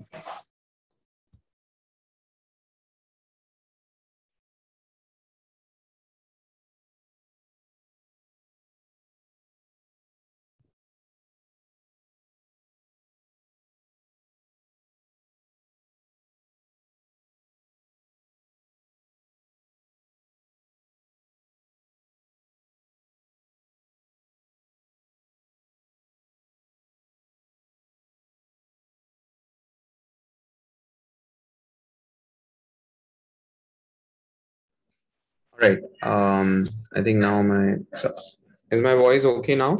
Yes yes. Much better. Okay perfect. All right so what i was asking um sorry i, I lost the chain of thoughts. Uh, anybody who can tell me the question that i was asking? Trust issues. I seem to have a trust issue with my network though. Um and and I think somebody did uh, share the link of the group as well. So if uh, Money did share the group link, so people can join that uh, if they want to. All right. So my question was that how many of you have faced the trust issues with your businesses um, when it comes to when you do models and when you uh, put something in production? Do you, do you face that issue? Big yes. Jaisal is like big yes. Tavish is also a lot right? And you see why this is happening? Because do you see the gray areas which are sort of there? Um, because we don't talk or think and address the issues beyond the models right? Do you guys now see why it is so important for us to sort of learn and understand these things and I, and I get it, a lot of you might be sort of uh, slightly infuriated because you're like, hey, there's too much theory, too much theory. And this is why I sort of set the agenda at the very starting that this is going to be a lot of theories because there is no set way or there's no set algorithm which will help you address all of this in one go. It's a bunch of practice, it's a bunch of different questions that we need to be aware of. In fact, one of the very common philosophical saying is that if you know what the problem is, half of the problem is already solved. It's exactly like that. Sometimes you're not even aware of the issues. So, what we are trying to understand by doing these discussions is what is the issue? Why are we um, sort of discussing this, right? So, these are all which is going to establish a trust level with your business. the more you try to address them um, by doing certain things, right? A very thin line in, uh, in defining the scope of the model while testing the scope limitations is slightly pushed by customer. Yes, and, and you see, this is this is one of the very defining um, defining moment of your discussions with the businesses or the client, right? Because your clients are also not very matured. For them, it's like just give us the model. Correct, Jessel? Do you agree with this? Like it's not even something they are also discussing. So it's it it becomes a more challenging problem because a we are also not aware as a data scientist. They are also not aware. For them, they just come to you and say, hey, uh, here is the data.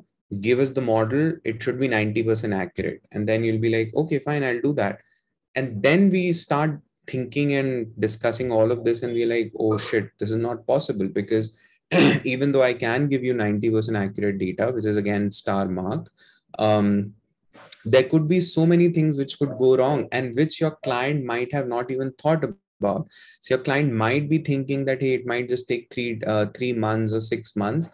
But in reality, the production and the MLOps operational part and all of this that we are discussing might actually take one year. Do you guys agree with this? 97 right? So so here's here's a conclusive point out of all of this what we are doing at this moment and this is going to be uh, let me sort of uh, you know give you a bit of motivation See, the thing is, after five years down the line, this all will become very streamlined. Like you will have like 10 things and a bunch of crazy tools, and everything will be automated. That is going to happen maybe five years down the line. At this point, it's not there, which means maybe we just need to uh, learn it the hard way. Like i learned machine learning the hard way compared to you people. So that's pretty much what you all are at this point doing. Also what is more important is once we understand all of this it is your duty to make sure to bring these things up during your next discussions right? So while your client might come to you or your business might come to you and say the same thing like Jessel is saying, that hey give us a model which is 90% accurate we don't care about anything you please make sure that you start initiating these discussions which is hey, sure, we can do this. How are you going to uh, address the post model accuracies? How are you going to address the monitoring part? What is that you're going to monitor? So, and so forth, right? So, start having these discussions because it's going to make your as well as your client life much easier and much better, which also means towards the end, you get to retain your job for a longer time. You also get to get more promotions towards the end. So that is why these things are sort of slightly important for us to understand. So now that we have um, sort of understood these things, uh, the last part is model readiness, which is how will I compare result from a newer version of my model against the in production versions, right? This is again um, Yes, Purna. So there are, uh, and we're going to go uh, into those things. So, like I said, before we go into the solutions, we first need to identify all the problems, right? That's why I sort of figured out the key question, then the specific names, and then the solution. So now, what is going to happen, at least in your case, um, you know, at least for the session that we are taking, you have a question in your mind. You know the exact key phrase that is used to address uh, address that, and then we'll also figure out certain solutions. So at least you have a good understanding of the whole scenario. Does does that make sense purna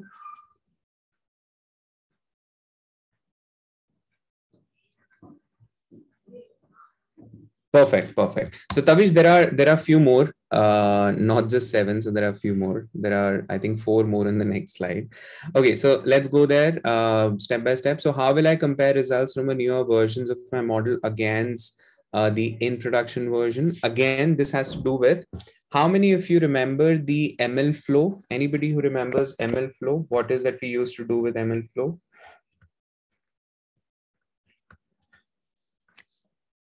Correct, some of you do. So for those of you don't know what ML flow is, ML flow is a machine learning, um, machine learning experiment tracking uh, open source uh, software or tool, you can say.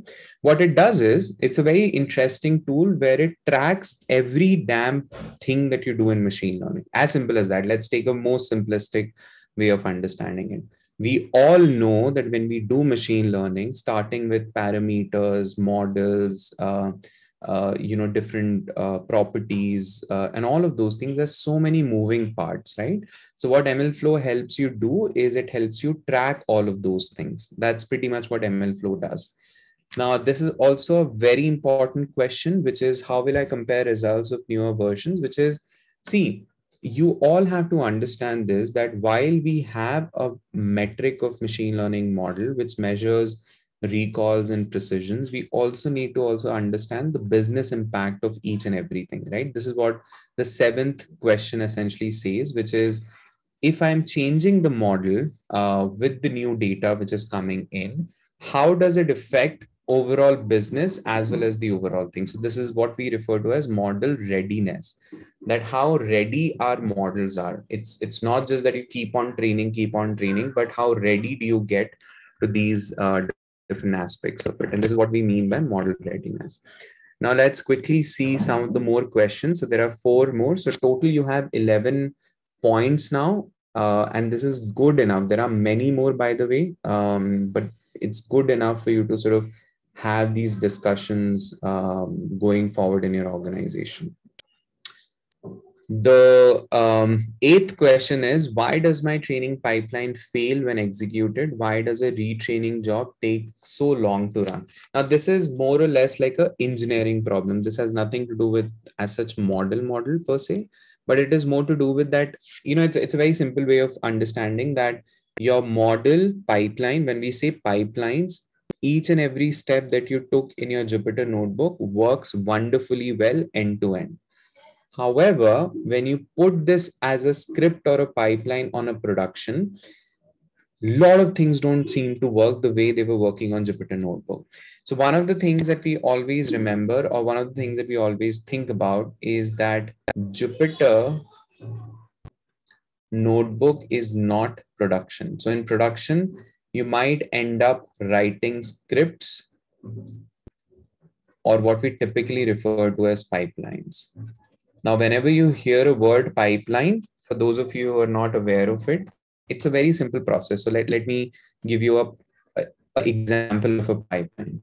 This is a pipeline. You take a data, um, remove outlier, remove column, remove something. Let's say you're also doing removal of something then train test split and then let's say some model right so if you see that these are all steps step one step two step three so these are all the steps which is pretty much what you do in uh, in your jupyter notebook right so if i take all of this and i put all of them as a function now imagine that for all of this i have a function right? So the way you do function is basically you write def remove outlier, right? So RO, and then you take a data and then you return a data. That's what I mean by uh, function. So you take a data, you call a function, you call a function, you call a function, you call a function. So basically, I've sort of converted everything into functional uh, approaches. Again, for those of you, um, I'm, I'm pretty sure most of you who attended the MLOps, you will be able to relate very well to it for those of you who don't, please uh, see the sessions of MLOps. I have actually shown you a bunch of different examples of doing this. So this is what we mean by pipeline. So when my when we say that the training pipelines fail, we are essentially saying that these bunch of steps that we did in Jupyter Notebook, you know, in cells and all of those things worked wonderfully well for us. But the moment we went to production, things sort of doesn't work the way they were working in the Jupyter Notebook, and that's another uh, big issue that you have to sort of figure out, which is what we refer to as pipeline health issues or pipeline uh, issues in general. The ninth question is why is the latency of my predictive service very high? Why am I getting vastly varying latency for my different models? So the word latency here is very simple. See, it's like this. When you build a model, um, and when you send 1000 records, let's take a simple example. When you send 1000 records to your model, let's say it took two milliseconds to respond. This is this is something which is happening in um, in your Jupyter notebook. Now, when you scale this up, suddenly what started happening is this two millisecond time is what we are referring to as latency. Latency simply means that when you send something to the model and then the model responds back with the answer, how much latency do you have? Now, here's a quick question. Do you want higher latencies or do you want lower latencies of your models? We want lower. Very simple, right? Now, if I have 4 GB machine, which is currently giving me 2 millisecond response time or 2 millisecond um 2 millisecond uh, latency. I want to reduce it to much lower value. What will i do? Again very simple question. What will i do now? I have a 4 gb machine 4 gb ram machine which is currently giving me 2 millisecond response time. Correct. So most of you will say hey just increase the ram. You will see a slight increase. So it's not like if you do 8 gb suddenly you'll have 1 uh, millisecond. So what we all understand very clearly is that if you have a better machine both in terms of ram and the uh, uh, the processor that it has your uh, latencies might decrease. Or there's another thing that you all know very well do you agree that if I shift from CPU to GPU, do you all agree that you'll have way, way faster latencies because GPUs are way faster? Correct? So any which way, it's not that simple, by the way. I'm trying to make it sound very simple, but it's not that simple. But you all understand the basic concept, right? So what you always have to discuss with the business is this point, which is what is the latency that they expect expect out of the model? What is the production scenario latency that they expect? A discussion typically goes like this. So let's say Avesh is my business guy, and I'm, he has asked me to, uh, you know, build a model uh, with 90% accuracy and everything. So all the other um, risk factors I've already had a discussion with him. The next question that I'll be putting up to him would be this: that hey Avesh, um, how do you imagine a production? What is the frequency and the velocity of the data that is going to come and what do you expect the latency to be when this frequency and velocity comes so avish might say that, hey, Lavi, you know what? Um, every second we're going to get like 10,000 records, and whole day we're going to get, let's say, some millions of records. And I want you to be under four milliseconds. That could be something that your business might know, or it, they might not. So you have to work either way. So don't assume that they will always know. But this is a very important discussion that you need to have. Why? Because let me ask you another quick question. If you have two models, model one, which is logistic, and the model two, which is, let's say, um, XGBoost, right? So logistic and XGBoost. Which model gives you faster prediction again let me be very careful here. I'm not asking in terms of um, training because training we all know xgboost will take time. I am asking which model take or which model will give me faster predictions. So a lot of you some of you are saying logistics some of you are also saying xgboost so by the way um, if you were to use CPU, Logistic will give you faster predictions. If you were to use XGBoost on GPU, XGBoost will give you way, way faster prediction. Now, do you slowly understand why this is a very important question to ask to a business? Because if your business is having some basic idea of latency and they are saying, no, we want to keep it less than uh, this millisecond or something like this, then your choice of modeling will also slightly shift because then you can't do very complicated ensemble modelings. You then have to stick to standard models where you have maybe gpu support or maybe have faster predictions. Uh, do you see what i'm trying to say here? At the same time this is one of the important question uh, also goes in the training format as well. So once you have um, uh, faster prediction, sometimes you also want faster trainings as well. So maybe your business is saying that, hey, we will get the data and I want you to retrain the model every day, uh, something like that. So in that case, also you have to think about what is that I need to do from a training point of view, right? Let me take a pause before we uh, address the last two points. Uh, Arjun, this is about the inference time, right? How does quantization help? So inference time, yes. So the, what we mean by prediction time is essentially also the other word for that is inference. Uh, the quantization helps in the deep learning world, Arjun. So what happens is um, there are certain so if you remember in deep learning we do have um, uh, data which is like most of the time they are numbers because they are um, they are images there are they, they are pictures videos and all that. Each pixel values uh, can take a floating point number which could be a 16 floating point or a 32 bit floating point. So what quantization does is it reduces those uh, you know representation of the bit. So from 32 bit it might represent the data into 16 bit. Now, obviously, if you're changing a bit, uh, a bit variation of your value, you end up getting faster computations. Right. So that's, and again, quantization is usually not done in machine learning. They are mostly in the machine learning world. But I hope this makes sense. All right. Any questions so far? I hope things are making sense.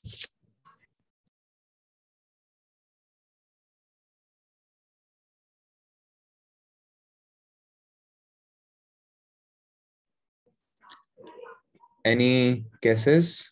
Oh, sorry, any questions? So what steps are taken in machine learning space for better inference other than choice of the model? So more commonly, uh, the infrastructure is what uh, most of the people end up focusing on, Arjun.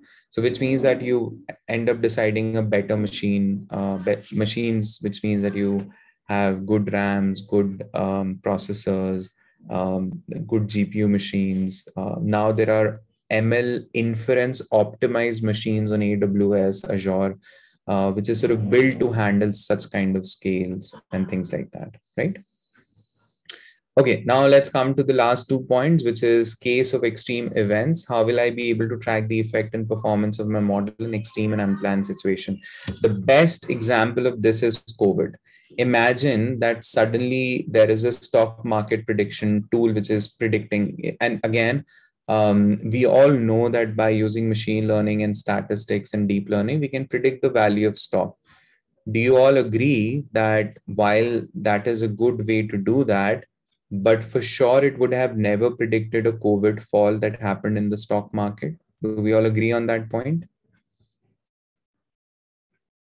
Correct now, just like this, uh, correct, they are called black swan events, right? Um, now, the thing is, do you all do you all agree that for any for any damn thing, COVID is a big example that no matter what the business was, not just the stock market, but even if you were predicting, let's say, sales, or if, even if you were predicting uh, revenue, or you were predicting whatever that you were predicting, it would have fall uh, it would have fallen down on the COVID thing because then a lot of things did change. So what you have to also always think about that you have to think about the outlierish events in your data. Now outliers can also be part of your data. Like suddenly you start seeing a basic outlier happening in your future or a new data or it could be a event that is something which you would have never thought of so there, there could be cyclical and seasonal events uh, based on your domain, which is something that you have taken care of. But there could be something, it could be anything that could happen out of the blue. How would you address those issues as well, right? This is again a question to be addressed, which is what we say cases of extreme events, right? I hope now it makes sense. The last point is how can I ensure production data is being processed in the same way as the training data was? Um, now, this is very simple to understand, which is what we refer to as data quality issue. A simple way of understanding this is we all do pre-processing of our data before sending data to the model, correct? Do we all agree on this? Is there any way I can say that you don't have to cleanse or pre-process a data before doing a model? Can I say that in machine learning? I can't, right? So it could be as basic as doing maybe one or two things only. Or I'm not saying that it has to be always comprehensive, depends on your data, but there will be some sort of pre-processing that needs to be taken care of all you have to make sure is that when the new or the future data comes in or the production data comes in it has to follow the same set of data quality. Correct? Very simple point to understand but very crucial thing. A very basic example of understanding this is if you're scaling your data while doing jupyter or while doing initial model building you have to make sure that your production data is also being scaled at the same level. Do you guys agree with this again nothing um, big here but something which is important for us to remember. Correct? All right. Now let's come to the most important part. Correct for transform and transform.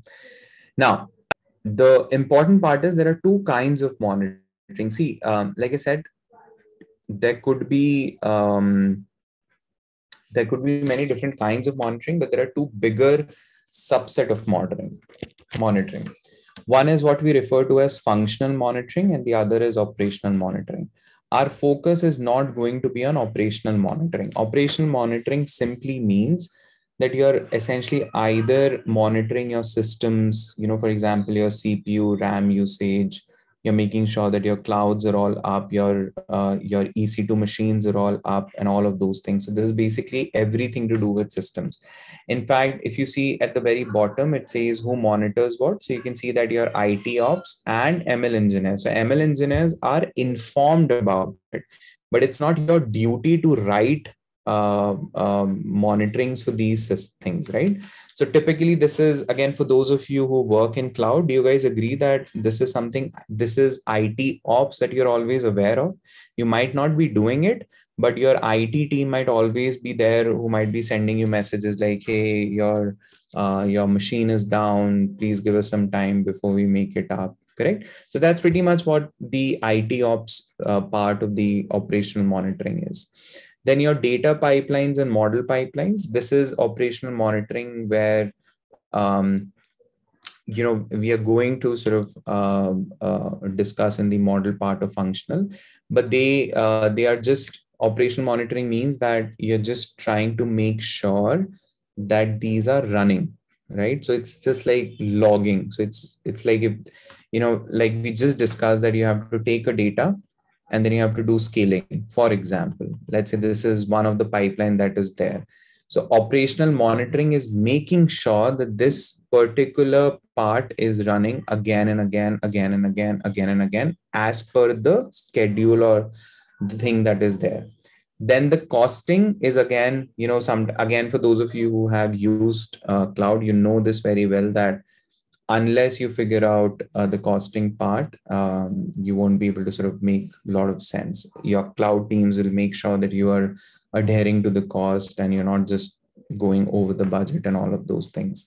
Same thing happens with the inference cost that you have a cost associated. So you need to make sure that uh, you address that. So this is what we mean by operational monitoring.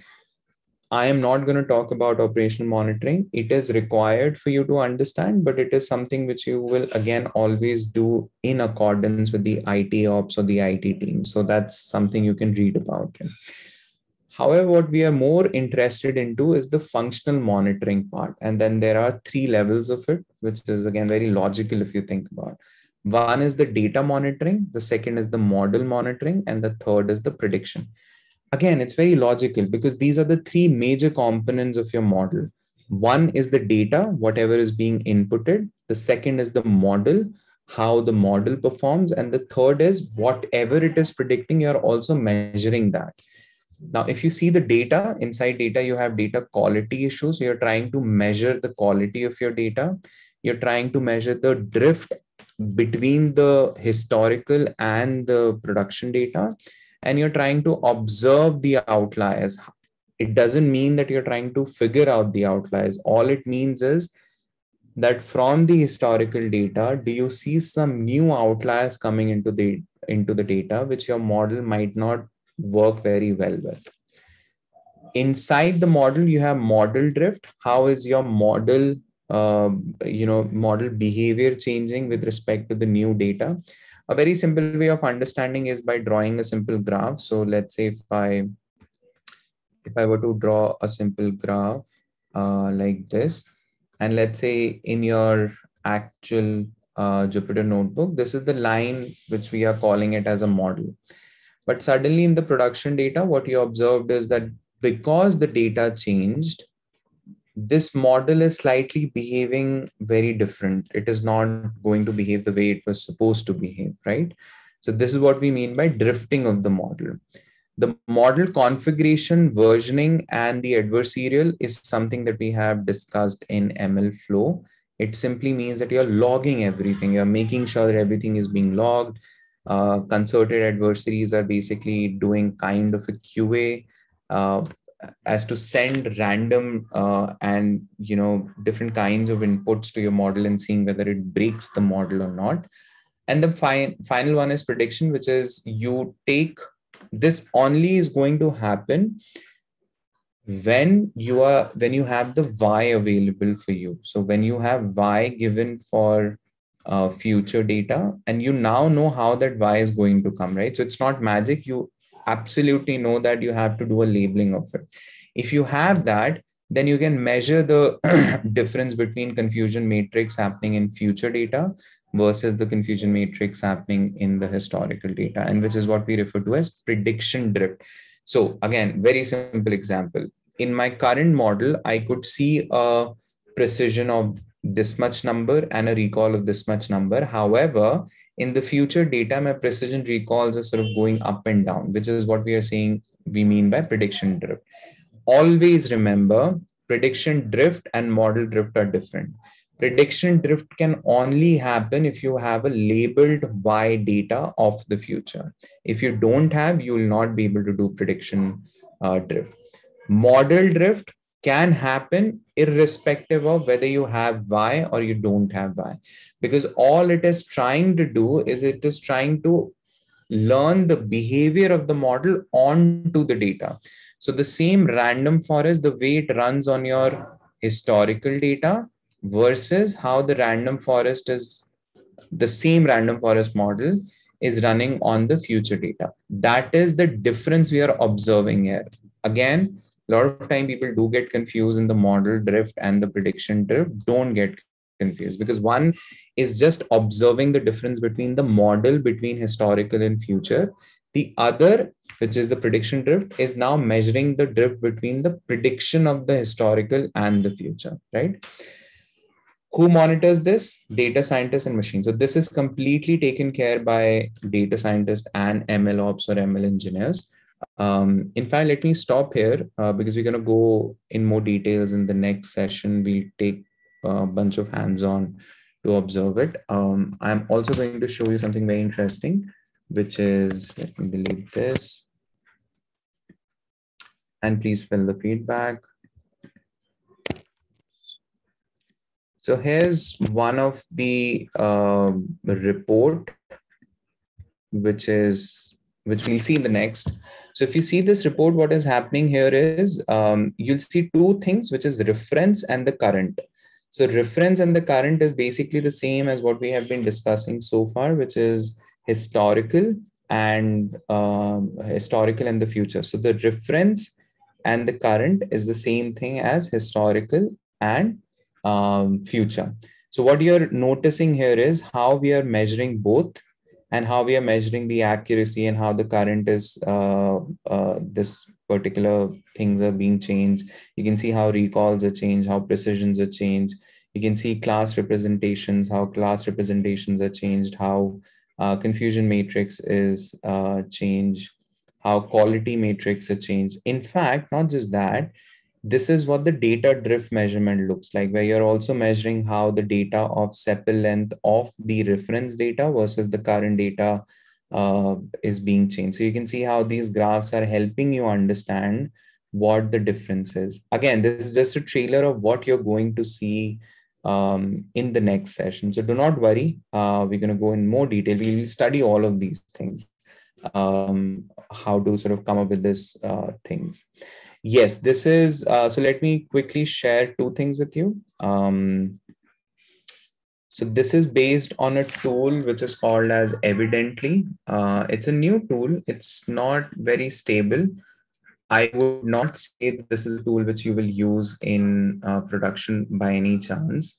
Uh, the reason this is helpful is just for you to sort of play with it, just to sort of see that, hey, okay, all right, this is how things happen. Correct. So please don't don't take this as a production tool. This is just a tool for you to play with, just to see how things can happen. There's a bunch of interesting stuff which is uh, inbuilt into this tool. Maybe down the line, one year, this tool might become very stable, but not at this point, right? So the code that I was showing, uh, the code that uh, the report that I was showing you comes out of this code, which we'll discuss in the next uh, session. So did you all get a link and are you all able to open the link? Okay, can you can you check now? And the presentation, this is the presentation. So let me also share the link of the presentation.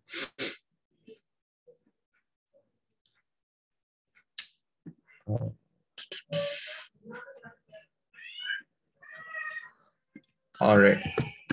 Here's the link to the presentation, right? So now you have both. You have the code, you have the presentation. Um, right now, let me stop here and let's discuss, let's take questions. So again, thanks a lot for uh, having so much patience, guys.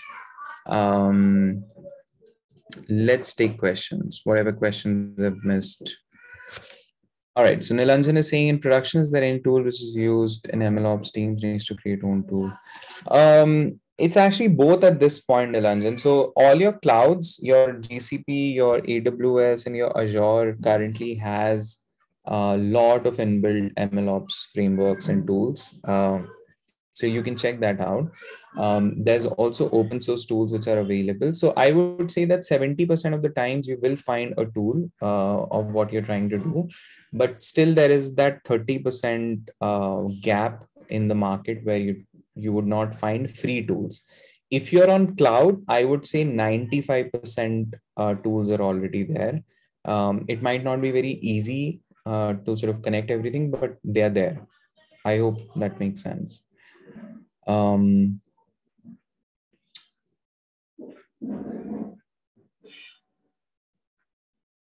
Perfect. Thanks, Avinash.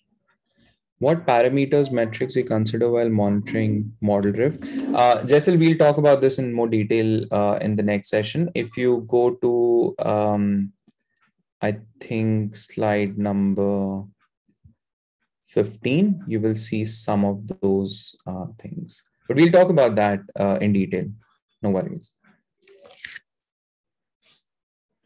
What does inference enhancer platform stand in ML workspace? Yeah, so uh, for example, one of the very interesting platform in this regard is, uh, let me see if I can show that. Uh, so NVIDIA has NVIDIA inference. So, so there's something called as Triton Inference Server. Um, so Enhancer platform, as the name suggests, uh, JSL is basically platforms or CPUs, GPUs, or any kind of hardware which is built to increase your inference time. Again, let me actually give you, um, uh, let me actually quickly give you this thing, which is a real use case.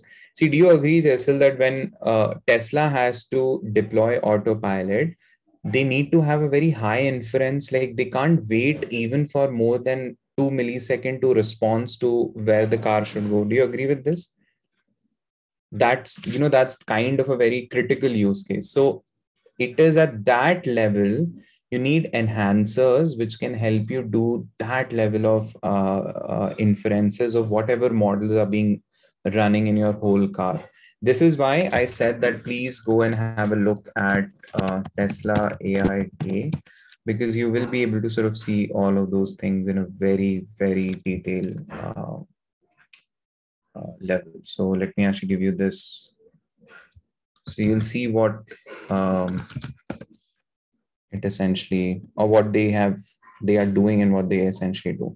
So uh, uh, Triton is one of those inference servers which are uh, sort of available from NVIDIA. You should read about this if you want to. Uh, it'll give you sort of heads up on what this is. Thank you, Purnima. Um, Argo, how to handle data drift that is there in something called domain adaptation? Does it help in solving the issue if there's Good question. Uh, so data drift we'll talk about in more detail, uh, Argo, in the next session. So we'll talk about what those uh, different things are and how can we address it. But to add on to what you're saying, it's a very valid question. So what you're saying is that, hey, uh, while we can figure out the drift that is happening between historical and the um, uh, the future data, but the bigger problem still lies that if your historical data itself is very biased to start with, or it has issues to start with, uh, what is the point of doing the drift analysis of your data? Correct. That's what your the larger picture is or larger point is that whatever issue, if you have issues with data, then there's no point of doing drift uh, anyway. Um, I don't know if you're still here, but yes, you're absolutely right. Um, in the next session, please, any one of you who uh, who can remember this, please make a note of it. Um, but I will talk about uh, uh, data fairness and biasness. Uh, there are quantitative measures to understand bias in your data. In fact, how many of you remember that I did talk about uh, 360? Yeah.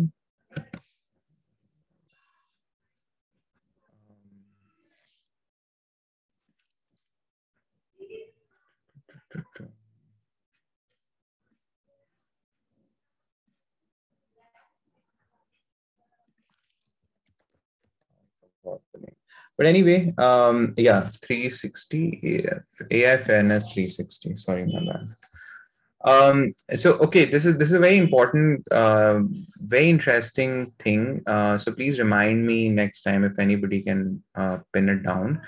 There is a uh, there's a toolkit called AIF 360 from IBM, which helps you quantify the biasness in your data. And this is it has nothing to do with monitoring as such, but it's it is it is itself a very important concept because do you all agree that you all get into this issue where um, sometimes you don't know how to quantify the bias in your data. I mean, sure, you can see the biasness by doing EDA, but don't you agree that you might sometimes want to do two things? One, to quantify, like by numbers, say that, okay, my this column has this much bias, and then to mitigate that bias by doing certain param, uh, certain uh, mathematical practice. Do you guys agree with this?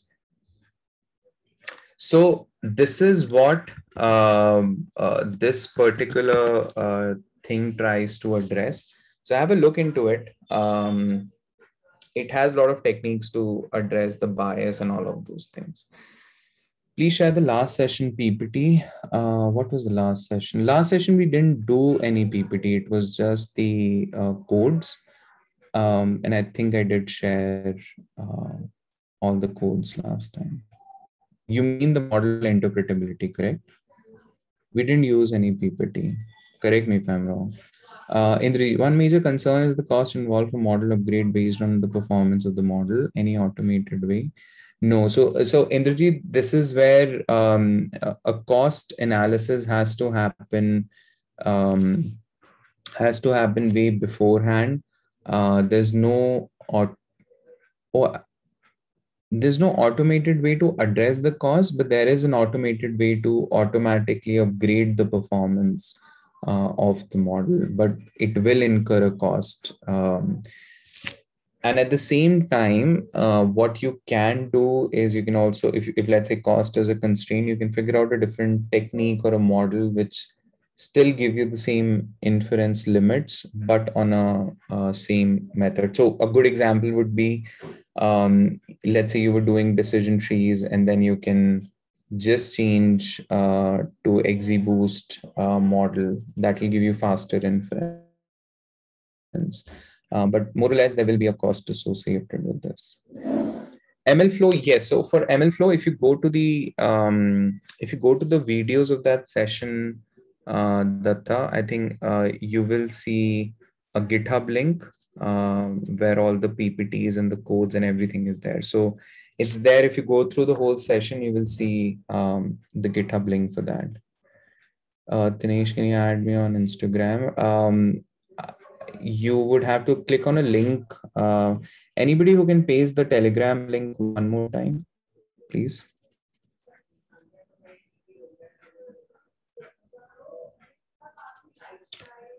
Generally, Azure or AWS provides automation workbench. Do they also provide monitoring? Yes. Uh, AWS has a very, uh, very good uh, monitoring support. So you can actually check the documentation and they have written a lot of tutorials, um, Bhargavi, so you can actually check that out. So there you go. So for those of you who want to sort of join, um, you can just click on the link um, to join the chat as well.